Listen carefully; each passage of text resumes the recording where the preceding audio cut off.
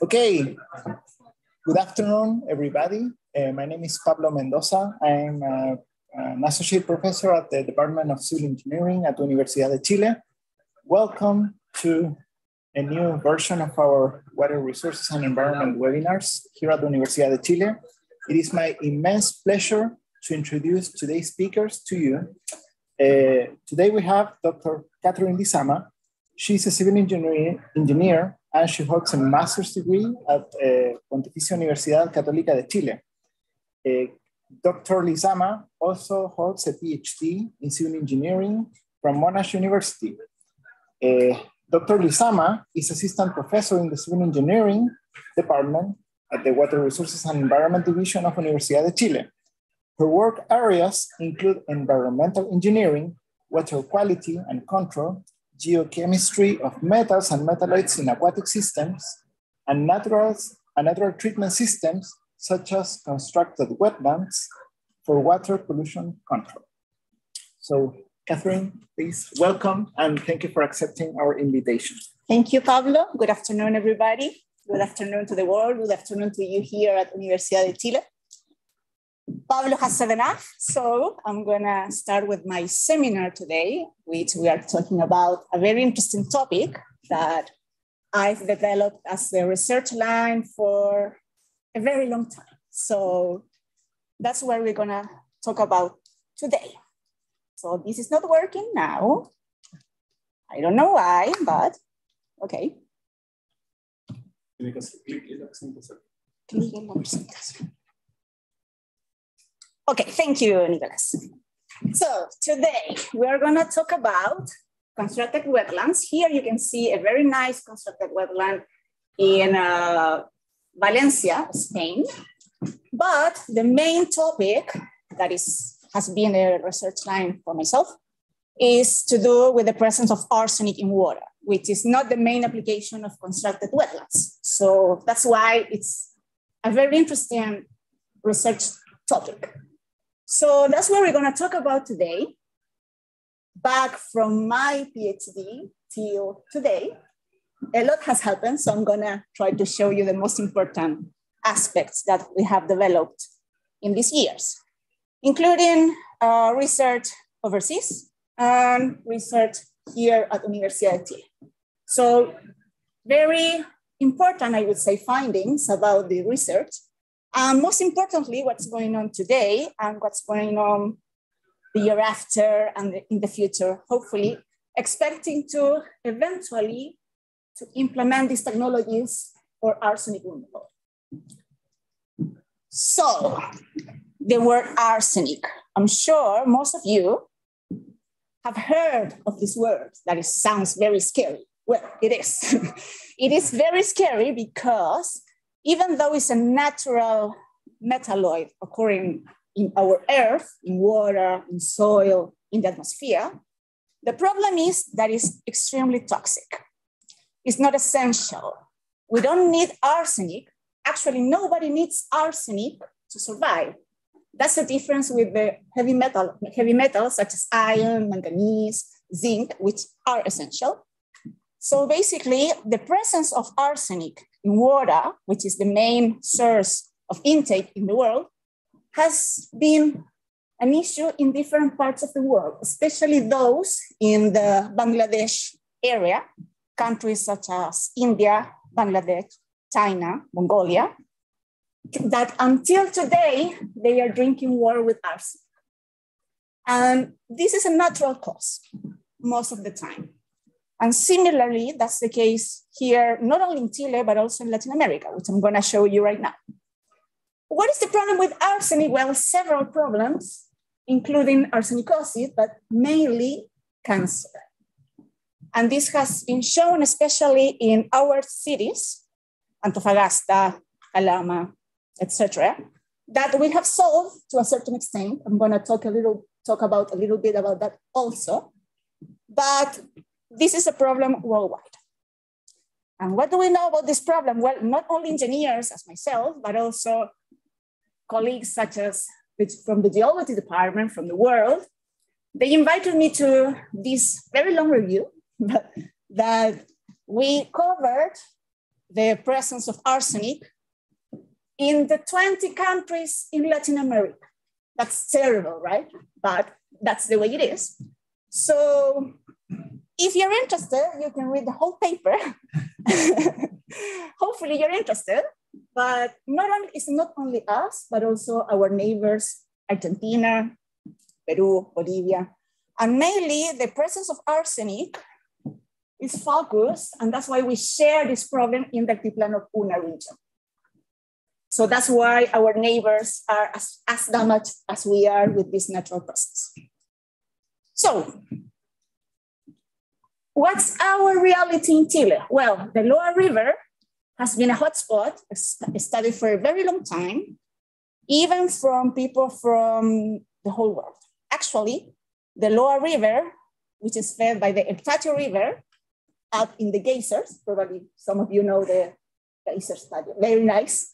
But naturally, this is the place with the highest concentration of arsenic in water. Yes, so that's why this has been well known for a very long time. Let's say from 2003, um, Romero et al. did a very nice work throughout the whole basin. But unfortunately, there are other basins, such as Lluta, the Lluta River, which is fed by the Azufre River, which also are very rich in arsenic.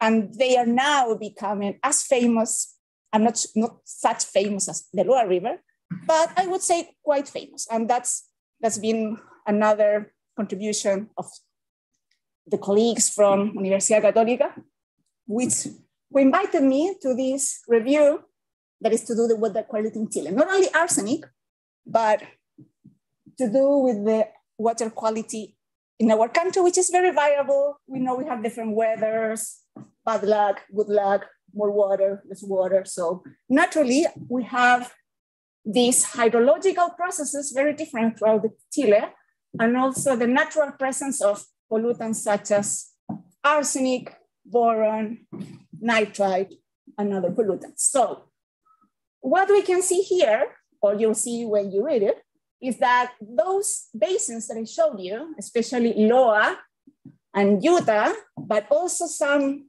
in the south, such as Mataquito, south. So we do have arsenic in the south as well. Not only, this is the very critical, this is the very worst case, but that doesn't mean that we are arsenic free from other basins. And that has been incremented by the drought especially in groundwater. So this, even though these concentrations are terribly high, if we think that the, the national, the international, the WHO recommends that we don't drink arsenic above 0.01 milligrams per liter. And we have here, we have here one milligram per liter, two milligrams, three, it's very high. So we can't drink this water. But in some cases, we don't need the water to drink, but we need it for other uses, such as irrigation, especially in the north. So, as I was saying before, one of the key hotspots in Chile is the Altiplano Puna. So recently, we published a review using the data from the National uh, Agency uh, of Water, DGA, when we took their data, our data that belong to all of us, and also some historical data from different colleagues from different basins, starting from Altiplánicas, Salar de Atacama, Pampa del Tamarugal, Loa, Lluta, etc. And we collect all this data and look at it. And as you can see in this figure, concentrations can be as high as one milligram per liter and this shows both historical data and also data from the National Monitoring Network, from our surface water mainly.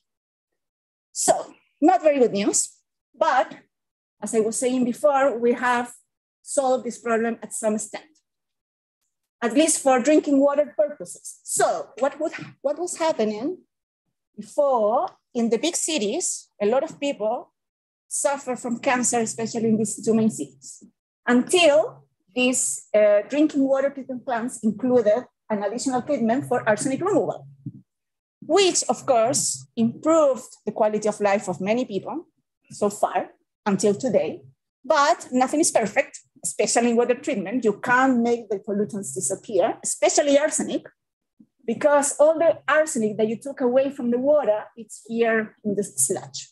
And it's not like the typical sludge from a wastewater treatment plant or a drinking water treatment plant. It's a toxic sludge.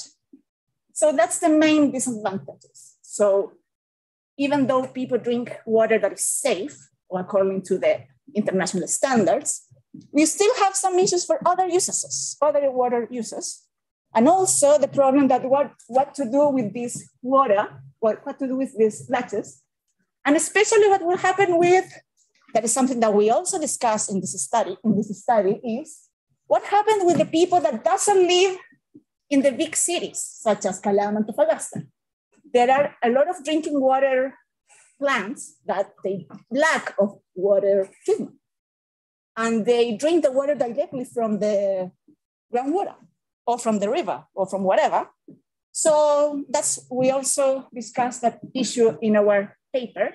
Um, unfortunately, most of these treatments that are provided by our state, they can't keep operating because of the elevated costs, such as, you know, all associated to reverse osmosis mainly, that people that live here, they don't have the capacity to operate a reverse osmosis drinking water treatment plant. So even though we could say we have progressed a lot, and we have, we still have to think about what else could we do about this issue. And especially thinking something that is sustainable and not necessarily to drink the water, but at least to reduce this concentration. So that made me think a long time ago, as I told you at the beginning, what could we do about it? And that led me to think of natural systems that now we, we are famous for being named as uh, nature-based solutions. But a few years ago, that, that concept didn't exist. And we stuck to natural systems. Uh, and I'm sure you've heard of wetlands. So what are wetlands that inspire constructed wetlands, which are a water treatment system mainly? A wetland is a natural soil, in, a, in the case of a natural wetland, that gets saturated at some point during the year. And that saturation of the soil allows the vegetation to grow. So for me, a wetland has to have vegetation, for me. But what we have learned from nature along these years is that naturally wetlands improve water quality, naturally, because all of the interactions between the vegetation, the water, and the supporting media. So that's what we learned. As, um, that's why constructed wetlands are an engineering system with the main aim to improve water quality. So as I was saying in the beginning, constructed wetlands, they have been widely used in different parts of the world, but for different purposes, mainly wastewater, that was our prior worry from the engineering point of view. But now we have learned through the years as well that wetlands, constructed wetlands, they also have the potential not only to remove arsenic, but also pharmaceutical, other type of emerging pollutants, including arsenic. But the problem is we didn't know much about it. So that came very handy to me so as to propose my PhD dissertation that I'm gonna tell you about. I would say is relatively new in the world. And what we can say about a nature-based solution? Well, they are, I share here the definition of the International Union for the Conservancy of Nature. So I'm not gonna read it because you can read it by yourself. But the important thing is that here in Chile, this year, the President Boric signed the Ley Marco Cambio Climático, Chilean climate change law. And what you can see there, a lot of interesting topics that interest all of us due to the all the issues we're relating to the topic of this presentation today, nature-based solutions. So they are there. and that not only the definition that is, I would say, very in line with the international definition, but also this law that is already on uh, um, is already functioning, let's say. This law also tell us about these strategic water resources plans that we have to have for each basin. We have 101 basins in Chile, and all of them at some stage, I don't know when, how, but all of them, they have to have the hydrological modeling, the water quality modeling, they have a aquifer recuperation plan, but also they made an explicit emphasis on nature-based solutions to face all the issues we're living today in Chile. And also not only in, in nature-based solutions, but also other new water sources, let's say desalinization, artificial uh, aquifer recharge, new sources, relatively new, um, wastewater reuse, this kind of thing. So we've made a lot of progress, at least on paper. We'll see in real life, but at least on paper, our state has made this commitment. So, as I was saying, because we didn't know a lot about arsenic removal in wetlands, it occurred to me that it would be a nice topic to research for four years. And that allowed me to get my PhD degree in Melbourne, Australia. And because very little had been done, it was relatively simple, not easy, simple, to start thinking, well, how, how, what is the potential of this system to improve water quality that is highly polluted with arsenic and other metals having as inspiration my country, as I told you before. So I started thinking, well, what could be used to improve this natural capacity of vegetation, soil, looking at different wetland media, for example, that not many people had done till then. It was more than 10 years ago, so a lot has happened. And then thinking about testing. So my PhD thesis was mainly empirical. So to do that, we had to get the plants from natural wetlands. We had to build the systems. These are the first vertical flow wetlands that I tested. These are the horizontal uh, wetlands that Richard helped me build and operate. And as I was saying, I took the very worst case that was the Azufre River. This water is very nasty, very nasty. You won't believe how nasty this water is. I couldn't believe it myself. So this water is most is I would say very similar to a, a acid mine drainage, and it's a river. So that was very challenging because I, as I was saying, the good thing is that nobody had done a lot, but on the other hand, I had to do everything. So the first thing I, that I did was to propose what were the main mechanisms that occur in a constructed wetland. And I realized that nobody had identified these mechanisms so far. So that was our first contribution with my supervisor at the time, my both supervisors. And after this, we decided how to, how to proceed with my research. So I could be talking about this for hours, but I won't do that. So I'm gonna focus on what we could achieve regarding the key aspects that we focused on. One was to do with the supporting media, looking for different media, not gravel, that is the typical from a constructed wetland. So I started looking alternative media that could raise pH because the Azufre River is very acidic and also has a lot of iron, manganese, lead, zinc, the whole periodic table, maybe I would say. And also thinking that the iron and arsenic are very related in nature, and this water was very rich in iron, that made me assume that the co-precipitation or sorption or precipitation with iron oxides would be important as well. So that's why we highlighted these two routes, thinking that maybe this would be important, maybe not. Maybe this would be important, but you need to have sulfur in the reduced form, not sulfate. So that was a different challenge for later. So that's where the start. And then after that, at the very end, when we tested the horizontal flow and we tested three different types of media, zeolite, limestone, and cocoa peat, this was to do with the natural ion interchange. Zeolite is very used in water treatment, not for arsenic, but for many things. Limestone, because we needed to raise the pH of the water. And cocoa peat to provide a carbon source for bacteria. That's why we tested this combination. And what did we find?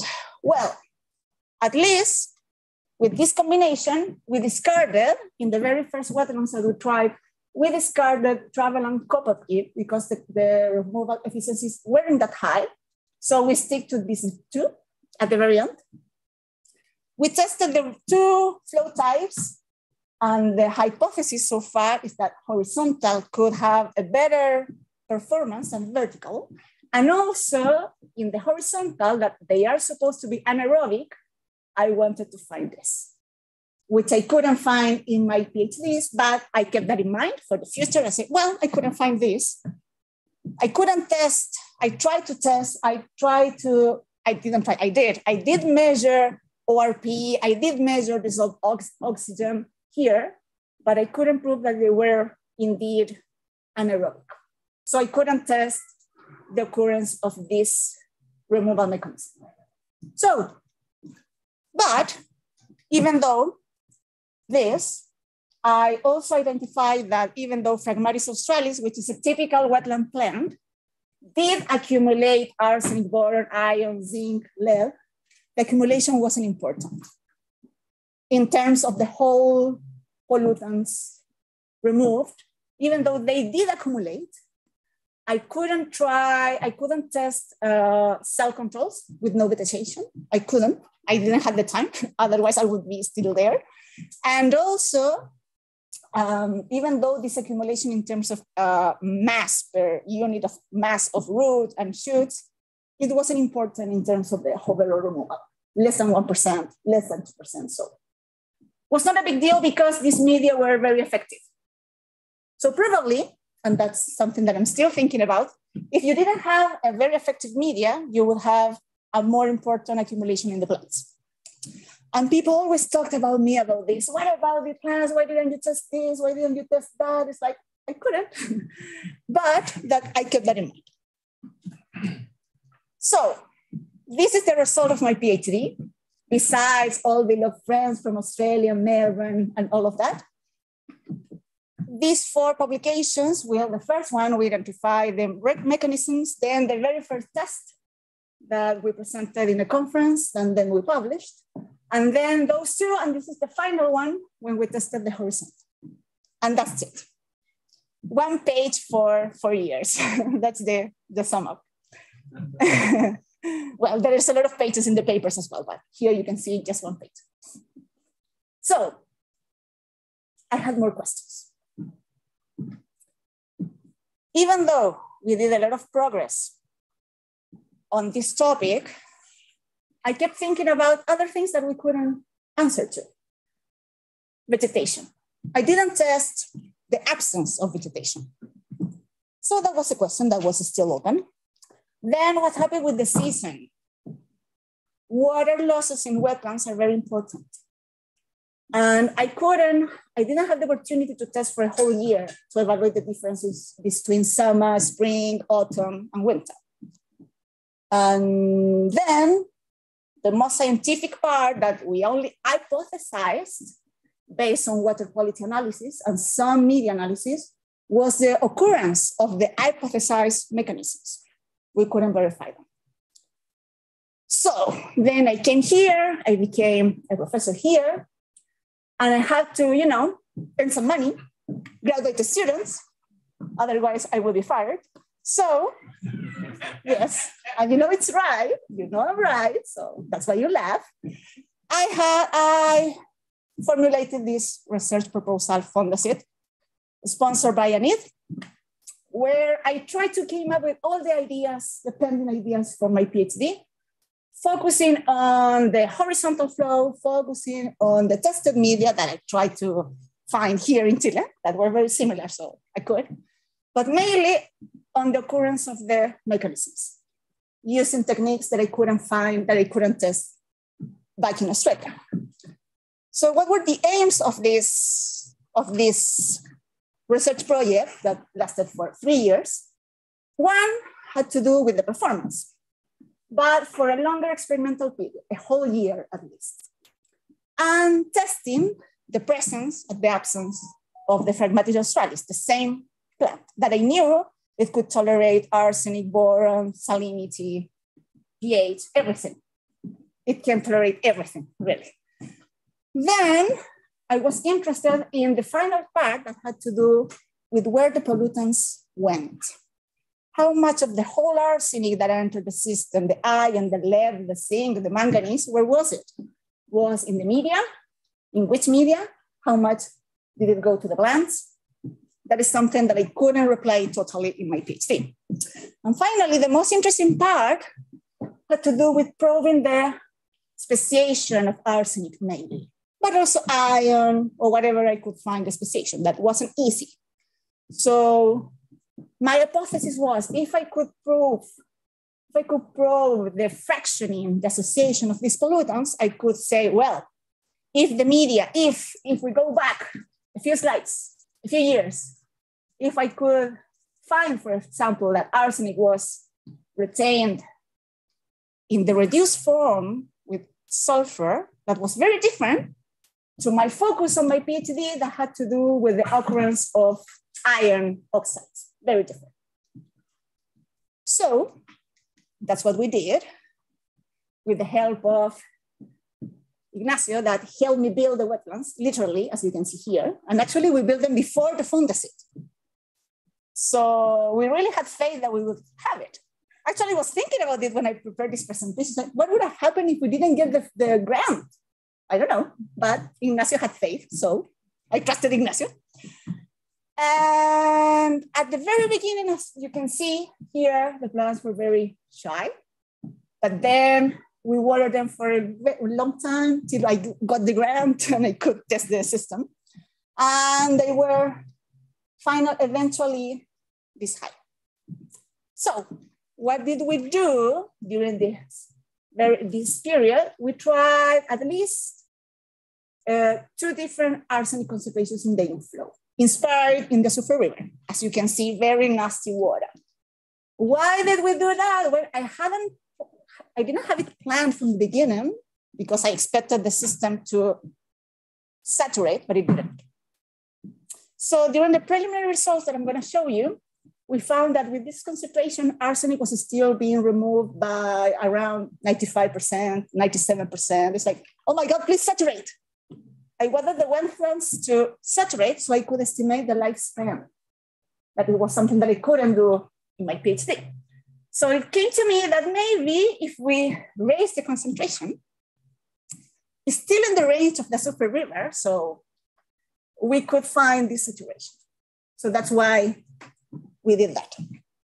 But then after more than a year of testing with this very nasty water, the idea was to um, destroy the wetlands, well, at least some of them. So we can analyze the supporting media, we can analyze the plants, and then at the very, very end, we could do these eh, sequential extraction procedures are very used in the chemistry area to find the partitioning of pollutants, not arsenic. So that was something really new. Tessier has been mainly used for metals, and arsenic is very different to metal. And Keon, yes, it was especially designed for arsenic. But nobody so far has used Keon for the wetlands. So that was a good thing. And also other techniques that would help us identify the species of arsenic maybe and iron. So how was our experimental setup? We had four cell types with two different wetland media, uh, limestone and zeolite. We have the control cells no vegetation versus the plant itself, the real wetlands, let's say, with the Phragmites, we have replicates. And we operated under this hydraulic loading rate. And as I was saying, with the very nasty water that I didn't test in my PhD either. I only focus on arsenic and boron and iron, but then thank you to the information from the colleagues from Pontificia Universidad Católica, we could get a better characterization of the Azufre River. So I knew I had to include all these plus the sulfate and the chloride.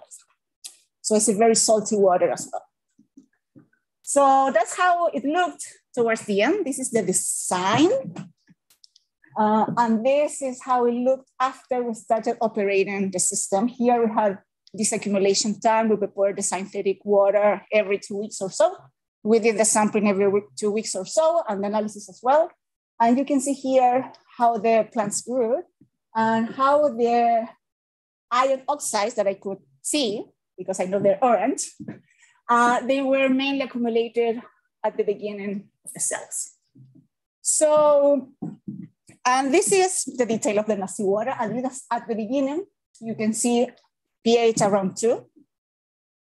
And a very high concentration of um, uh, sulfate, um, arsenic around two, that was stage one, lead, iron, aluminum, etc.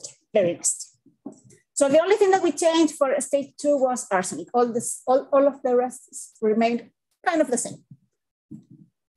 What did we find? Well, at the beginning, we could see that we could, all, the, all the systems, all the four types of cells, limestone with or without plants, zeolite with or without plants, they behave very differently regarding pH adjustment, which is a very important water quality parameter. So we could see from the very beginning that zeolite started kind of well, but then it got stuck around five. Whereas the limestone was actually very high pH, around 7.5 or so, and it didn't decrease. Actually, didn't decrease throughout the whole time. So I also wanted them to please stop raising the pH, but they didn't. So, but zeolite they did. And then at the beginning, as I said, uh, we found that arsenic and iron were basically to be removed. Actually, we had a lot of issues with the arsenic because most of the measurements were below the detection limit. So we had another issue as well. And with the help of colleagues from SEGA, uh, they didn't want to see me anymore. I knew that if I called them, oh, you know, my samples, and oh, no, I don't want to trouble you again. Your water is so nasty, please, please. But thank you, Veronica, for all the help from SEGA. And so there we go, around one or second year, third year. So in the meantime, as I told you, some conference uh, presentations with Melissa, Pablo, Juan, and Jose, uh, trying to show that we're doing something on progress. So that's why they were posters and conferences. And then the only drawback that we have was to do with boron. Boron is very different to arsenic in the way that it's very hard to remove. So unfortunately, we couldn't remove boron in the official system, but thank you to the contribution of Consuelo, uh, we had this idea that we tested a different type of media that was rice husk, which is a waste from the rice industry. Um, and also we tested a different plant, uh, Typha, with thank you to the idea of Camila of testing, you know, this different water. And we did find some interesting results, but because we didn't, we didn't remove boron in the other system. So we made this small test. And we also tried to make some progress regarding the modeling of these processes. That's something that we also try to uh, uh, do here in this preliminary result, thinking of not only quantifying, but what to do with this data. Okay, so so that was a bonus, I would say. that is not to do that is to do with the Fondecyt, but it's a different research line, but it's relevant to the topic as well. So what did we find in the end? Uh, the last publication after the year and a half of the testing with the four cell types, with the nasty water, And we found that finally the zeolite couldn't increase the pH as much as the limestone, that it did decrease, but seven is still very nice, very good. But uh, we couldn't find the saturation for neither of the pollutants, not arsenic, not iron, not lead. And worst of all, I was very disappointed, I would say. Uh, all the cells were kind of similar, statistically similar. So I really wanted to find a difference between plants, no plants, limestone, zeolite, but we couldn't. I did my best, we couldn't. Um, and again, I had I knew this would happen again because I saw it in my PhD that even though the plants could accumulate a lot in terms of mass per mass, in terms of the overall contribution, most of the pollutants were accumulated in the media, regarding, even though it was limestone or zeolite, the same thing. The other thing that was an important question was to do with the season. And the main thing about the season is not to do with how lives, uh often in wetlands, the plants get bored or get sad in summer, like me, but in winter, I mean, winter, autumn, they get sad because with lack of sunlight and etc. But it didn't affect the performance, only affect the water losses. So that's another key point that we learned. And overall,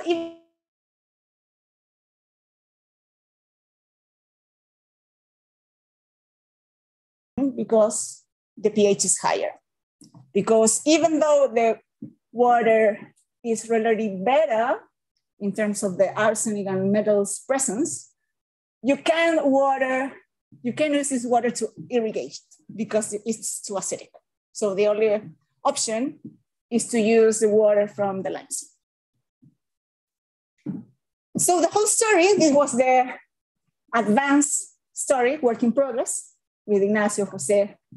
And then finally, the last publication when we could sum up all the findings, or at least the most important that had to do with the performance. However, we still have some questions to reply to that had to do with which form of arsenic, which form of iron were removed and how. So that was not an easy question to reply to, and actually haven't still quite worked it out. So as I told you before, we dismantle the wetlands. We take samples from different layers, from different wetlands, with or without plants. And we did, well, Jose did uh, the Keon uh. Um, Juan did the Tessier test. And still trying to figure it out to put the whole story together and also to do with the results from the from So that's still on work. And then the project finished.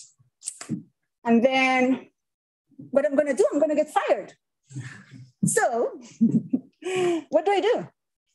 Well, even though getting fired is a concern, I still had this idea that at some point we could use the system to treat water with arsenic. But still a lot of points missing. For example, the representation of the performance. How can we effectively represent all the removal mechanisms in a model that could help me have a design guideline that are missing? This is a very important difference with the wetlands for water treatment. Most of the applications in the world are to do with wastewater or rainwater. That is very similar in the world. However, our polluted water with arsenic is very different to that in Bangladesh, to that in Mexico, to that in Argentina. So arsenic is a challenge. So I was still thinking, well, what can we do with all this? Apart from publishing. So I would say we tested, uh, we focus on the qualitative characteristic of the systems, thinking of the new media, thinking of the plants that could effectively resist these very nasty conditions. The carbon source that it didn't quite work out. Uh, and the flow types that I still would say the horizontal are the most promising ones. But on the other hand, I'm still an engineer, so I wanted to quantify, I wanted to provide some idea, some foundation for the design guidelines. So what did the world say about arsenic and metals? Well, let's try the typical, that word for DBO, nitrogen, you know, all the boring things. And uh, it didn't work. Neither the zero order order model, neither the first order, none of them um, empirical, linear, statistical models, none of them worked. So then what is coming now is to do with the mechanistic modeling of the performance of constructed wetlands treating water with arsenic, but not only having in account arsenic, but also all the water quality, because the reactivity of arsenic makes very different to wastewater or rainwater. So that's what Diego's doing now. So Diego Bravo, he's gonna build a very nice mechanistic model for constructed wetlands, and he's gonna get his PhD degree as well. And he's trying to sum up all the empirical work that we've done, and also with colleagues from the world, from Professor Joan Garcia, Professor Teresa Herrera, and other colleagues, uh, Llorens, Olmos Marquez, that they also work on empirical systems. But then now we are thinking about how to use all of that to build this model to help us, hopefully, provide these design guidelines. So to sum up, this is still a challenge, even though we have solved, at least in Chile, not in Latin America, not in Bangladesh, we have solved the arsenic issue, at least for drinking water purposes. We still have some other uses that we need, irrigation. Conservation of ecosystems is also a water use. And even though conserved wetlands are very popular in the world, um, they are mainly used for a different kind of water. And what we found is that they do have the potential to remove arsenic and another, another pollutants, non-conventional pollutants. And the limitation to effectively implement the systems is the lack of design guidelines. So that's where we are focusing now to make this lab, to take the leap between the empirical area and the modern area, trying to aim to these engineering systems designs, which is the final aim. So I have to acknowledge all the people, especially Wansi, Tim, and David from Monash University, who support my PhD studies, and also Anit that also supported my PhD studies, and of course the all the staff from the civil engineering department, such as Viviana, Manuel, that help us build the systems and the, um, to do the water quality testing as well. And all the students that started thinking from the very beginning, before the Fondecyt, and then after the Fondecyt, that had anything to do with either wetlands or arsenic. So thank you very much to all of you as well. And if you're interested, you can still watch me more on YouTube. and there are different topics. They're kind of different. If you're interested in arsenic, you have to watch uh, this. Two years ago, and we have some broader ones. Actually, this one is I gave it to a general audience in Municipalidad de Lo Barnechea, but I only talked about water quality. No arsenic, well, a little bit, but mainly water quality. And this focused on water quality in Chile. So thank you all. I hope this was nice to you to hear and discuss. So that's it for today.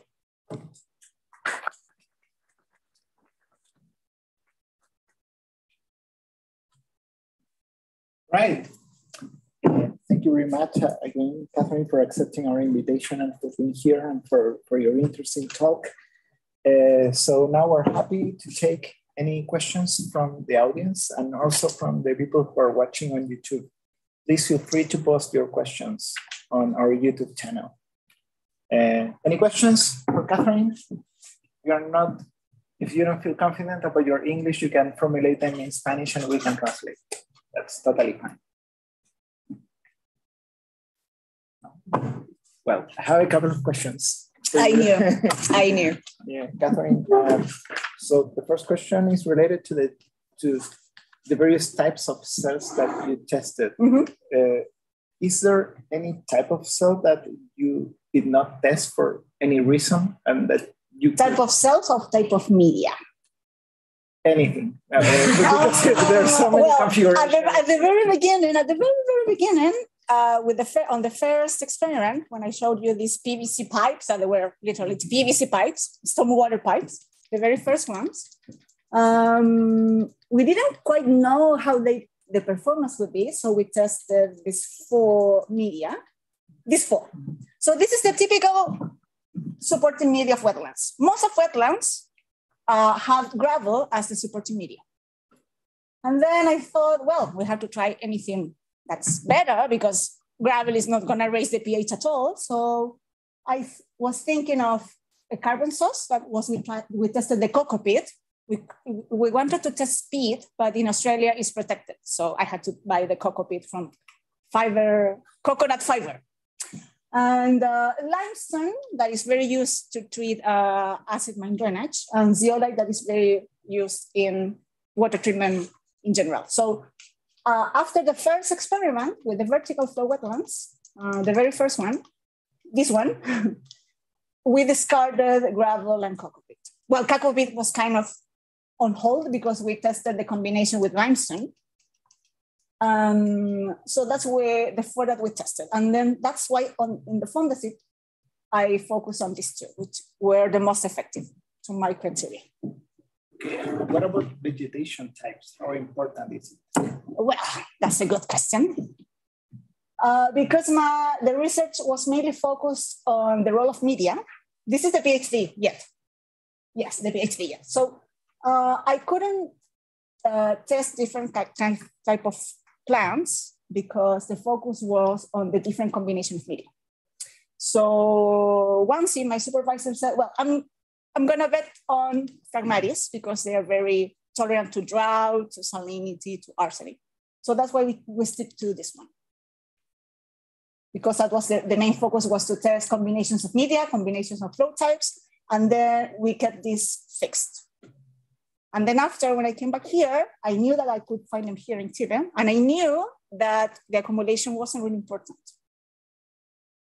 in terms of the contribution to the overall removal. So it's like, why bother? But I know because in every conference, people always ask me, why didn't you try Eliostaris? Why didn't you try Typha? Why did... It wasn't on the list. And also it has been shown not only by me, but also by other researchers that for metals and metalloids, such as, such as arsenic, this is not the main source of removal. And may or may not. In hydroponic systems, if you didn't have the media, probably, and that's to do with other phytoremediation techniques, not a wetland, but a hydroponic system, that's very different because all the all the arsenic is going to go to the plant, either the root or the shoot. But that's a different system. So depending on the case, like the thing is, if you have a good media, the arsenic is gonna go there by precipitation, sorption, etc. If you don't have the media, the arsenic is going to go to the plant. But still, even with some studies, the few studies that we checked, Buddhawong, 2004, he only tested gravel with the plants, and still the accumulation wasn't really important. Still, the, the arsenic was in the media, even though it was gravel. So I really didn't have an, an important reason to test different type of plants. I don't know if that replies to your answer, Pablo. Yes, yes. Uh, and actually, uh, this. Actually, you have more questions now. more questions. Now. Uh, are there uh, any other pollutants for which plant type is more important? Yes, yes. I have a colleague, Emily. Uh, she studied nitrogen removal. So if you are going to remove nitrogen, the type of plant is very important because nitrogen is a nutrient. So there are plants that prefer nitrate or ammonia over other things. But in this case, in this case, uh, the type of plant is not really important. And actually the role of plant is mainly indirect. It's not to do with the accumulation, it's to do with the provision of organic matter, the surface for the iron oxides to precipitate. So it's a different kind of role. Okay, cool. Uh, any other questions from our audience or from people watching us on YouTube? Felipe?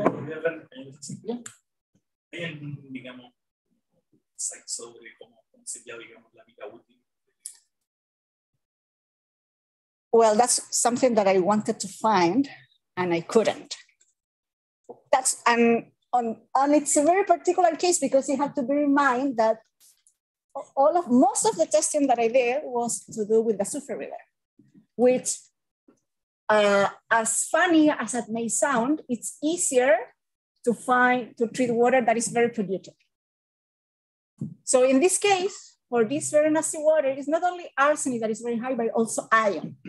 And because the water is very acidic, first one, stage one, stage one, you raise the pH, and then you have all these iron oxides, and then you retain most of it, most of everything, lead, manganese, whatever it can absorb onto this iron oxide. So, uh, but it's much more challenging, and that's where we have to think about now um, what happens with groundwater that has pH, I don't know, eight, seven, that has low or non-iron and has, I don't know, fluoride. That's the case in Mexico, for example.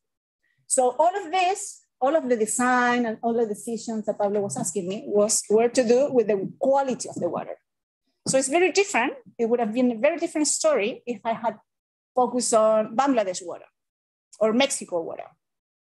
So that's, that's why this is a challenge because it's not only to do with the concentration of arsenic itself, but it's also to do with the overall water quality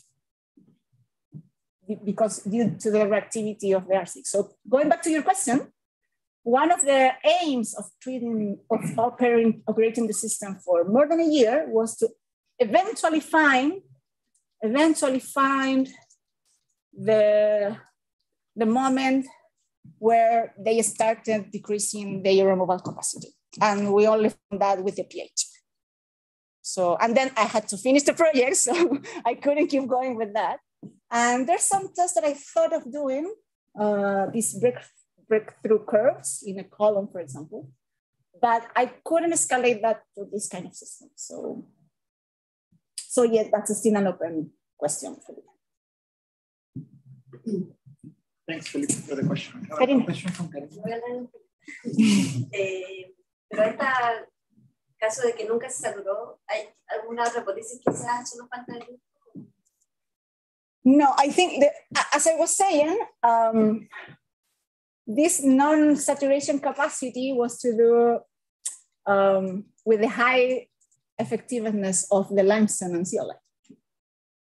So because I'm, I'm sure if I had, if we had built the wetlands with gravel, we would have seen that.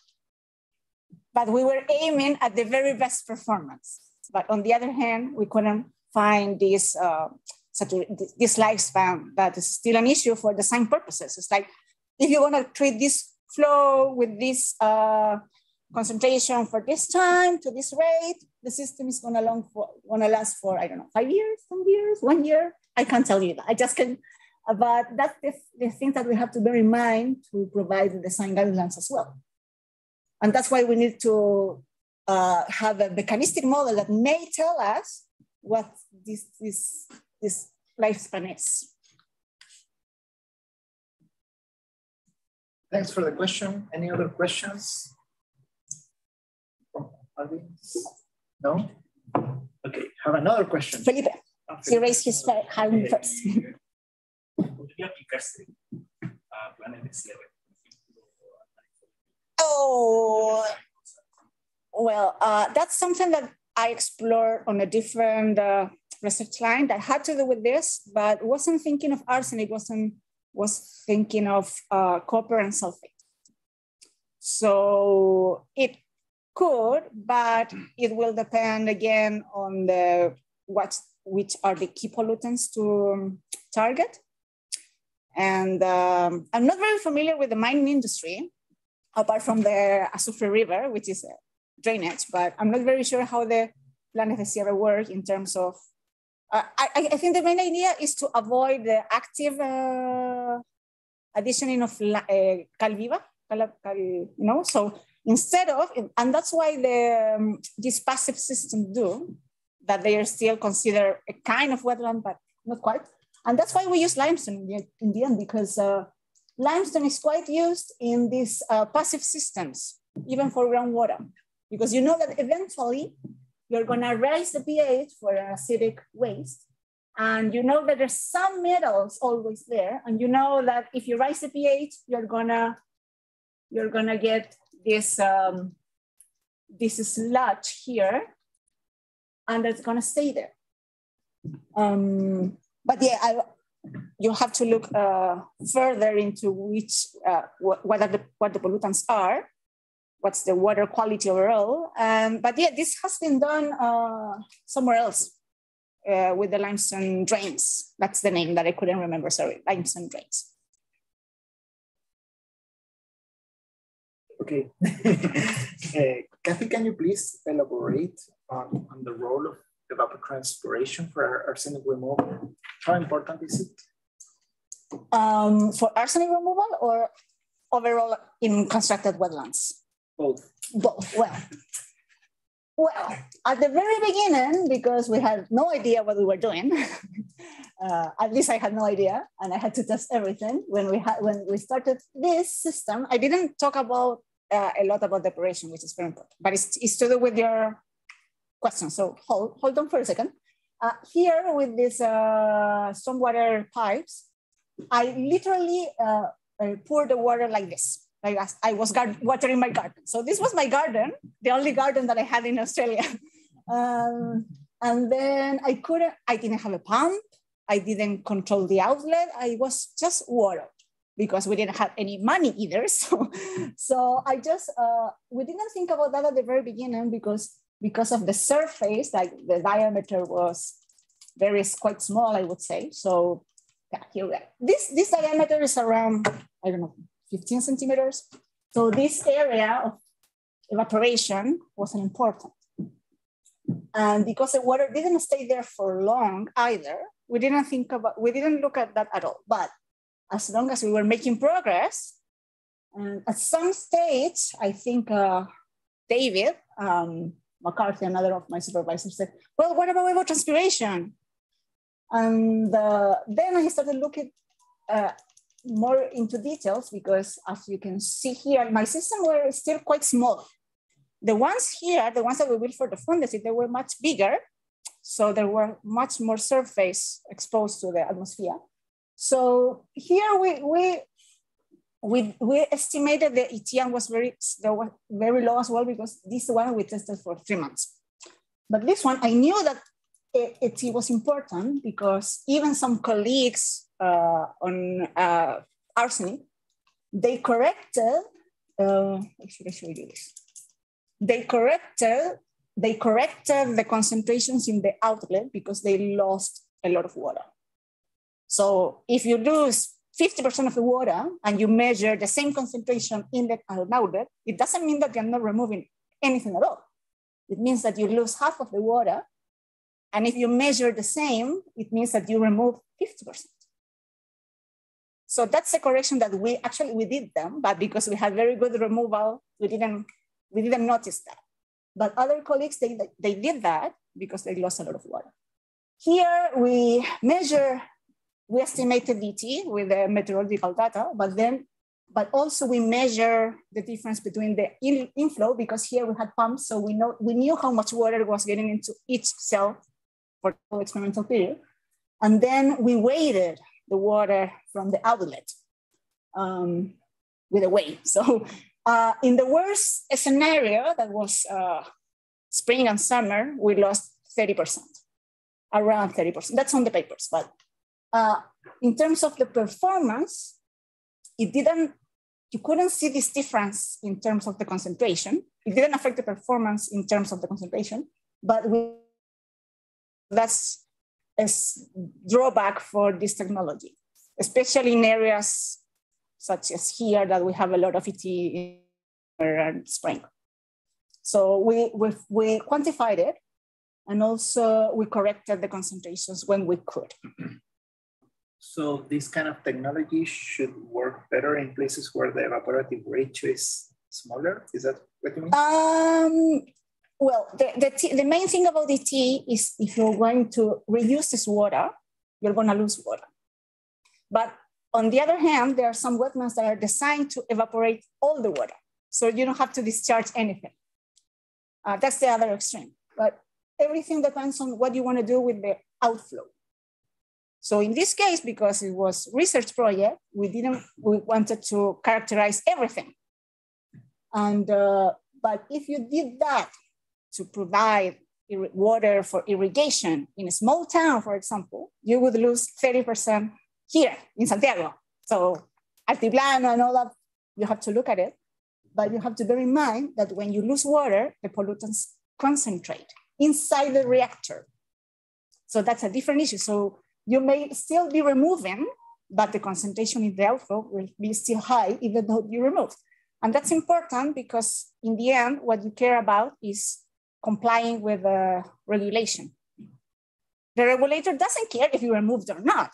He doesn't care. He cares about that the outflow actually can achieve a certain quality. I don't know if that replies your answer, your question or not, Pablo. Please tell me. No, no, no. yes. Thank you very much, Katherine. Any other questions for, for Katherine? Okay, so we want to thank you again, no, Katherine. Oh no, there is a question from the top. Can I? Should I look at here? Maybe it's not questions. Yeah. Ah. Other according, yeah, according to Presenter the model was since the beginning of time. Yes, what were the environmental conditions? I mean, temperature, altitude, climate. Finally, uh, thank you, thank you, Laura, for the for the congratulations. Yeah, uh, the this was all of the systems that we that we showed here. That is uh, Santiago, Chile. I don't know the latitude. You guys know the latitude. I have no idea of the, our latitude. I must say. Um, but, minus 33. Minus 33. So this is a, a, Mediterranean climate, very dry for the last 10, 15 years, very dry. Um,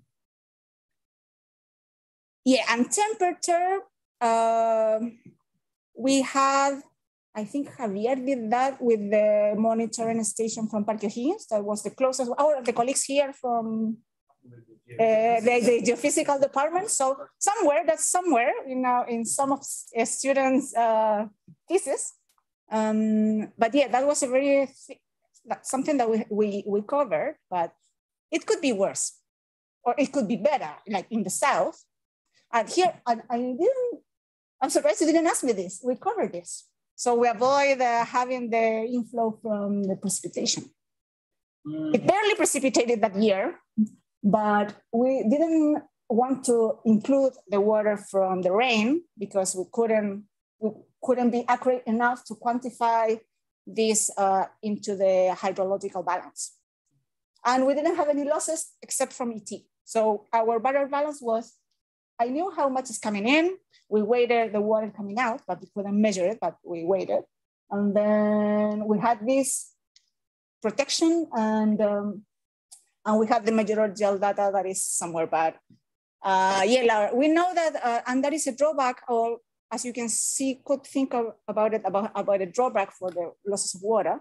But also the weather was, um, the plants could survive and grow.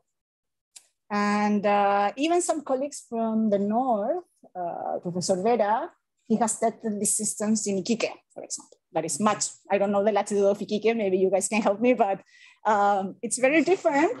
Our Laura, you have to come to Chile. It's a, it's a wonderful country. We have everything here. Um, but uh, if you if we look at the Altiplano, for example, or where the places where we were aiming at implementing the system, thinking of the Azufre River that is somewhere here, that is a very extreme uh, weather, desertic. So here, so the Azufre River, it's uh, born close to Bolivia. Actually, we got to Bolivia, not on purpose, but we got there.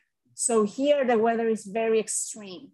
It's very, very, very, very dry. It's very cold in the morning, very hot in the day, the whole year. So it's very different uh, to, to that here in Lluta, that is here, here, uh, Loa, Salar da Gama, everything is very different and we are much uh, south.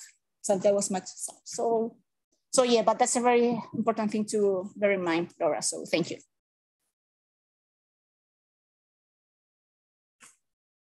I think there was an, another question. No, I think it was. Uh, No, nothing.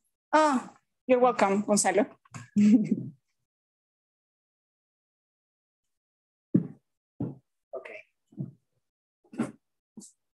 All right. Thank you very much, Katherine, for coming here. You're and- welcome. Oh yeah. So thank you all for coming today. Um, so our next webinar will be next Thursday. Uh, Dr. Hugo Ulloa, who is assistant professor at the University of Pennsylvania, will talk about fluid dynamics of ice-covered water bodies. So don't miss our upcoming exciting webinar. Yeah, and also, I'm sorry about that. Don't miss uh, Diego Bravo seminar, doctoral seminar in December. So the follow-up of the whole story. Yes, so please come. That, that was broadcasted, broadcasted via YouTube also. Ah, okay, on YouTube as well. Yeah. Okay, so Nico will make sure that it will be broadcasted Yeah. on YouTube. Thank you, Uh, Nico. But it's gonna be a hybrid webinar, so we need you to come. Yes, you guys, you guys have to come. Yeah, you have to come. You have to come. All right. Thank you very much and take care.